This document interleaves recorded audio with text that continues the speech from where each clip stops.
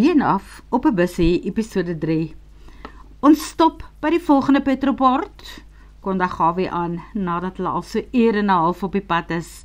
Loop julle draai en koop julle kope, maar wees terug in 'n kwartier asseblief. Wegneem koffie vir jou, vra Danika, toe sy sien dat Pieter oorent sukkel met sy krikke.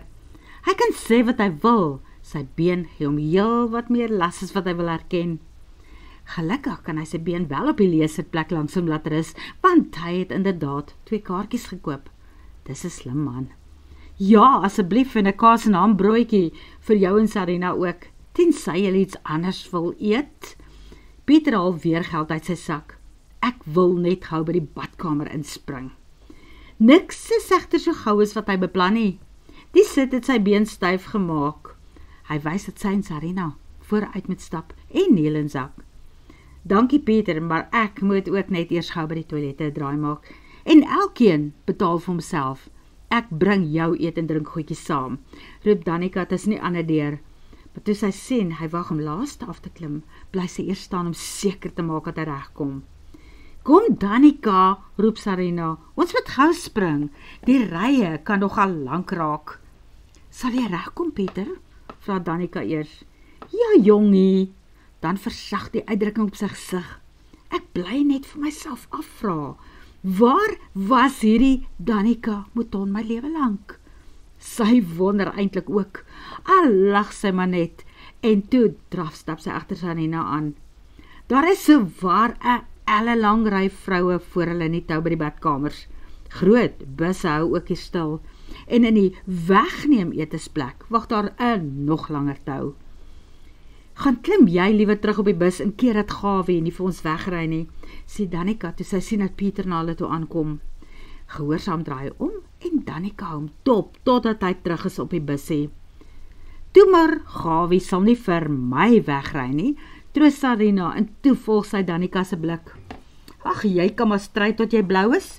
Jy het klaar 'n sagte plek vir daardie man. Sarina kyk verwonderd na haar. "Is jy seker julle het mekaar vanoggend vir die eerste keer ontmoet?" "Natuurlik, doodseker, tensy hy iewers in een van my vorige lewens ingepas het, maar ek onthou nie waar en wanneer nie." Spot Danika. "Nee, wat? Daar is nog niks spesiaals nie. Ek is net jammer vir hom omdat hy so sukkel met daardie krikke." En hy was regtig baie gaaf en ondersteunend nadat my kar vanoggend gesteel was. Ja, mens moet seker nie jammerte en omgee met iets meer verwar nie. Aha, ons is voor.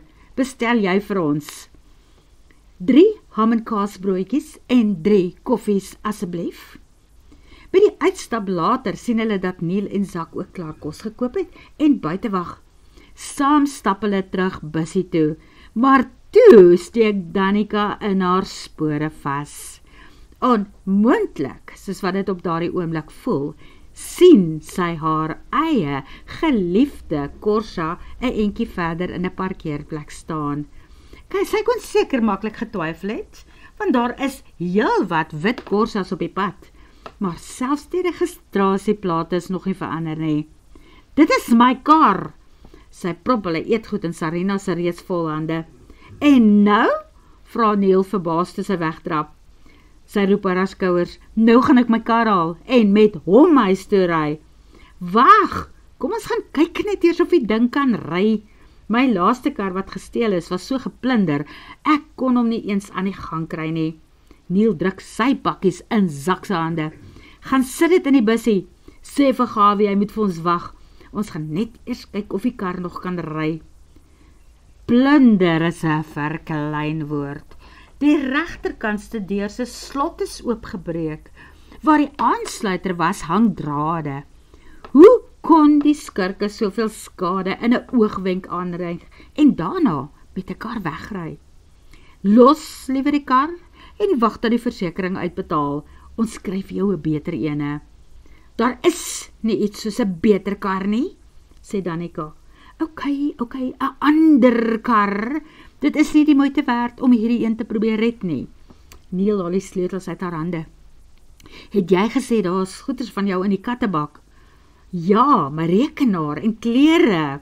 Sy voel hoe 'n doodse verslaanheid vandag vir die tweede keer op haar afsak. Niels sluit oop en haal die naweektas en rekenaarsak agteruit. Is dit jou inkopiesakke? Ja, seker. Ek het nogal heelwat goed in Pretoria gekoop. Nou verflaks, word wakker en kom help dra. Raas hy en gee pakkies aan. Sy sou seker nog lank daar rondom die kar gehuiwer het, maar die volgende oomblik hoor hulle hoe mense skree en skote klap. My blikkemme, iemand skiet op iemand, dring dit tot haar deur. Ja shit man, daai iemand is ons. Neil hak sy hand onder haar arm in en sleep dra haar met bagasie en alsaam terug bus toe.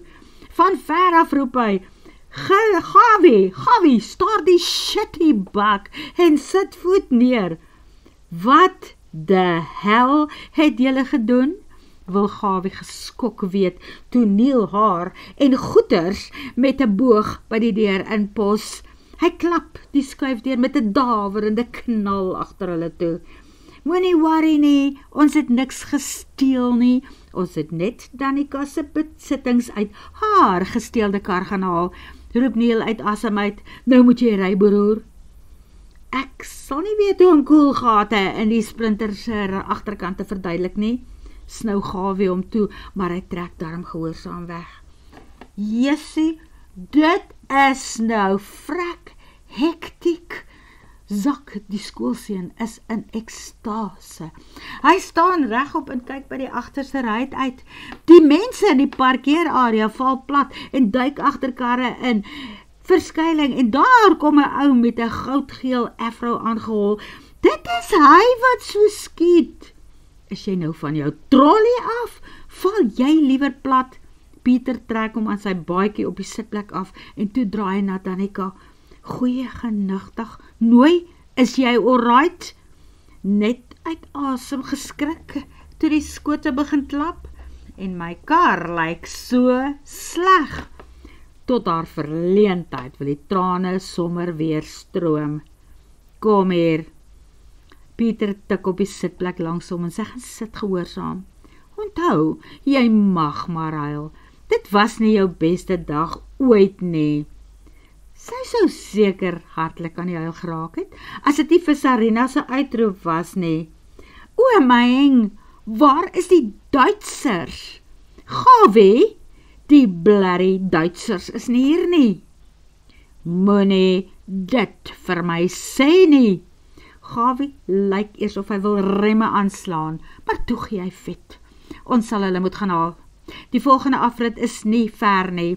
Sarina, hier is 'n kontakselnommer vir hulle. Vra asseblief dat hulle net daar moet wag, iewers waar ons hulle kan sien.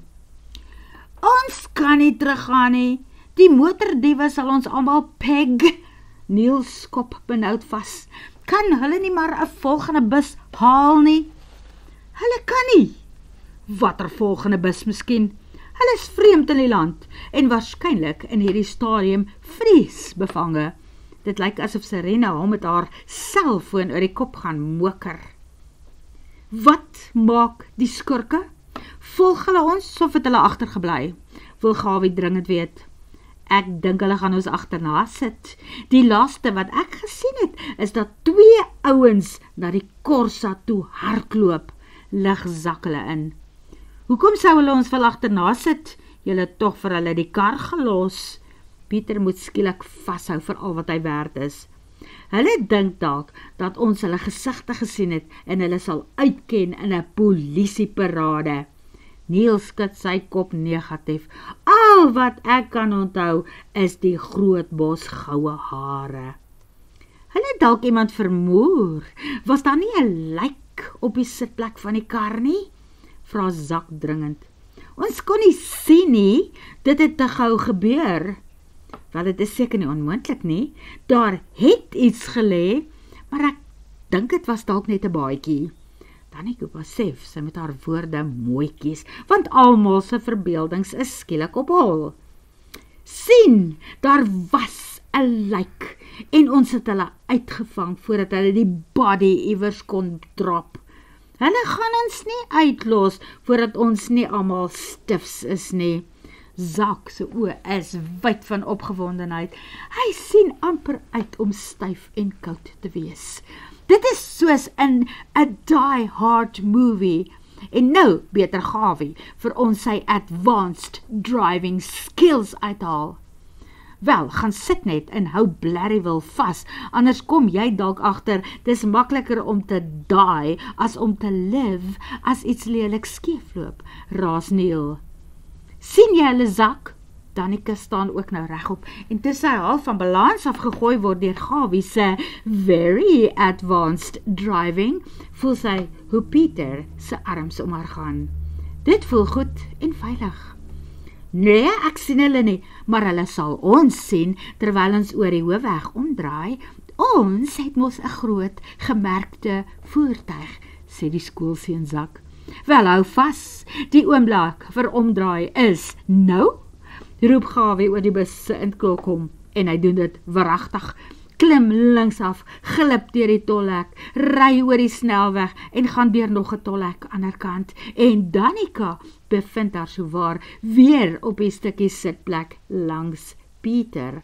Jammer, roep sy uit. Dis alright, ek sal later weer my been laat rus. Sit liewer voor jy ook val en 'n been of 'n arm breek. Hulle het ons gesien, maar nou is hulle verby die afdraai. Lewer Zak weer kommentaar. Het jy die Duitsers laat weet dat hulle moet reg staan? Roep Gawie uit. Ja, hulle wag vir ons. Sarina sit haar selfoon af. Dit lui onmiddellik weer. Hi, Gisela, as jy okay? Ons is nou daar. Die Korsa's nou voor ons. Hulle het ons sien omdraai. Hulle gaan seker dieselfde probeer doen. So jy moet reg staan. Dit is net vir oppik. Sy breek stomp af en toe klink haar stemmetjie dun. Nee, Pat, daar is nie probleme nie. Daar was maar net 'n klein insidentjie in die parkeerarea van die Petroport, maar dit is niks, absoluut niks met die bus en die mense te doen nie. Sy het met die verkeerde mense gepraat. Dit was Pat, my verloofde, verduidelik sy na die tyd, want alle oë is nou op haar. Mens met hom nooit ontstel nie. Hy is 'n rekenmeester, onthou. By die afrit langs die Petroport vlieg Gawie soos 'n albatros nog 'n keer oor en deur al die struike blokke. Bloody frickin' hell! roep die Duitser toe Gawie langsom en sy vrou stilhou en Neil die deur oopmaak. What was that all about? Is this Africa? This is South Africa. Die vestigskool seun sak, maar dit is nou te laat om om te draai. Ek wil nie omdraai nie. This was interesting. En nou het ons 'n storie om te vertel. Behalwe kan iemand vir my sê wat aan die gang is? vra Gunter. Motordiefstal? Waarskynlik 'n lijk op die agterste sitplek en nou probeer hulle om ons te hijack. Het julle hulle gesigte gesien? Wil skoon sê en Zak streng weet.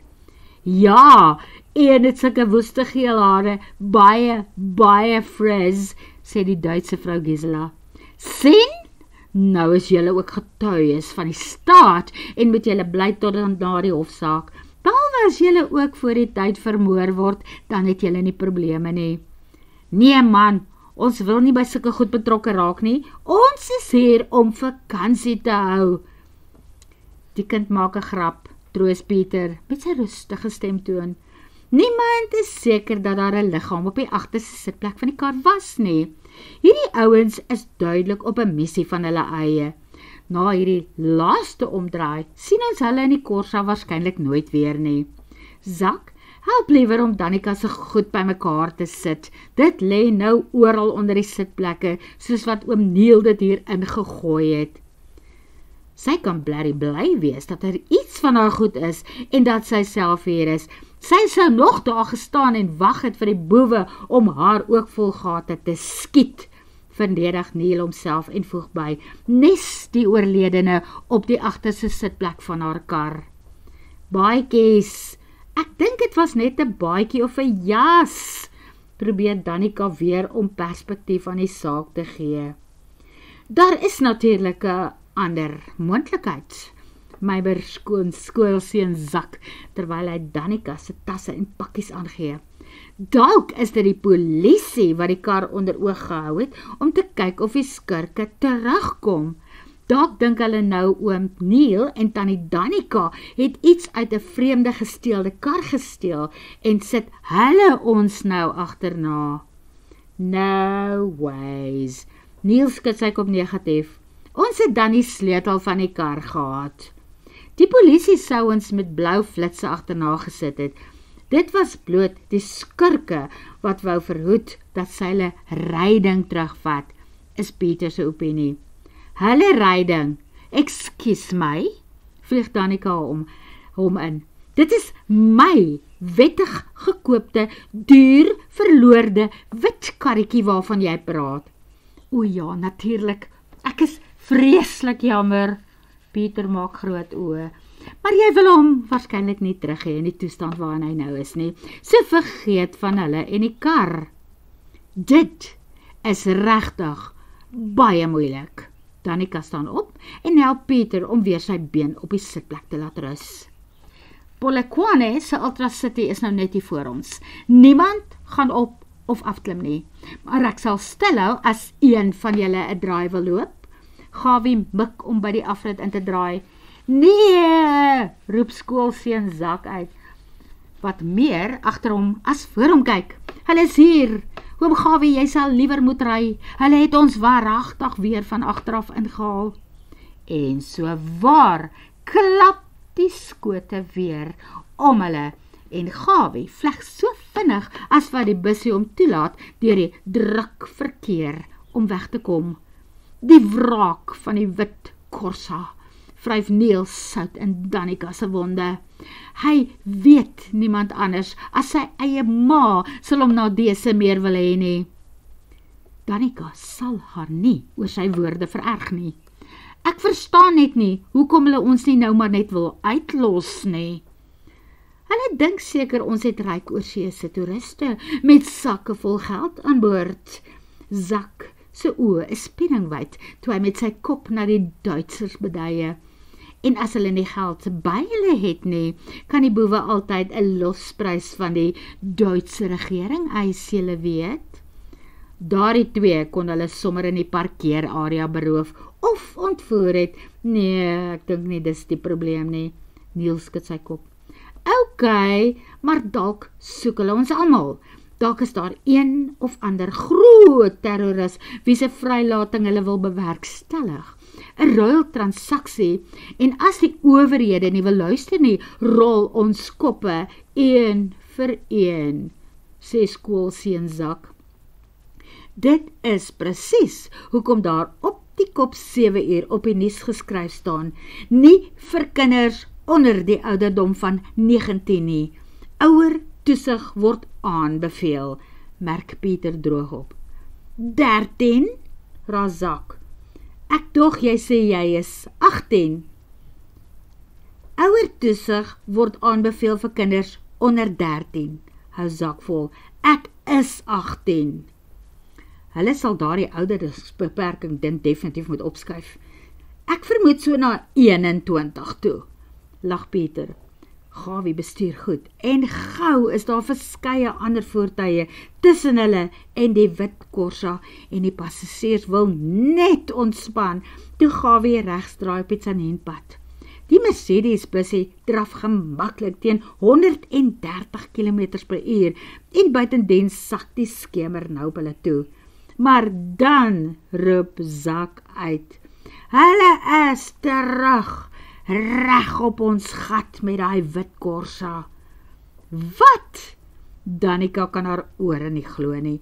In 'n 1000 jaar sou sy nie kan glo dat haar korsa teen daardie spoed sou kon ry en op sy wiele bly nie. Damn, ek kan regtig niks vinniger ry om veilig te wees nie. Gawie hou nie van die nes nie. Wie is agter die wiel van daai wit korsa? Lewis Hamilton? Dit lyk nogal soos hy, merk Neil droog op. Ons prins met die goue kroon sit langs hom en nou wil hy klomp verbygaan. Gaan hulle weer skiet? Wil Danika bekommerd wees. Nog nie. Hulle bære seker hier rond is vir wanneer hulle ons van die pad af gedruk het, sê Zak met 'n groot glimlag. "Narasakkies," roep Gawie van vooraf. "Ek ry bo oor hulle."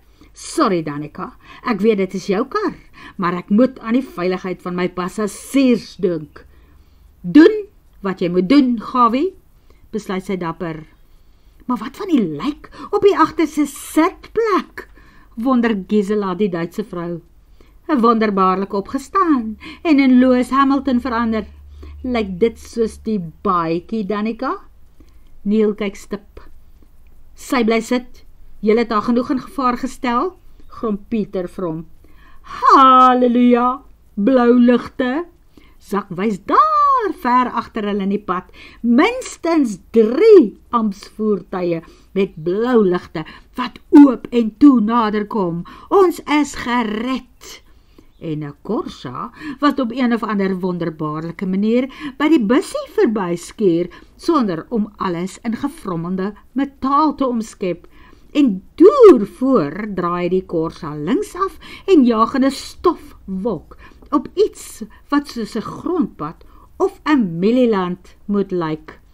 Die blou lig daal hulle van agteraf in en gly een vir een verby die sprinter. Duidelik is die rede vir hulle jagtog nie die bussie of die Corsa nie. O, oh, hulle vervoer seker 'n minister of 'n hooggeplaaste persoon, sê skoolseun Zak. En gelukkig is die Corsa nou so weg, soos vanmiddag se toebies en sweets. Spot Neil word vervolg.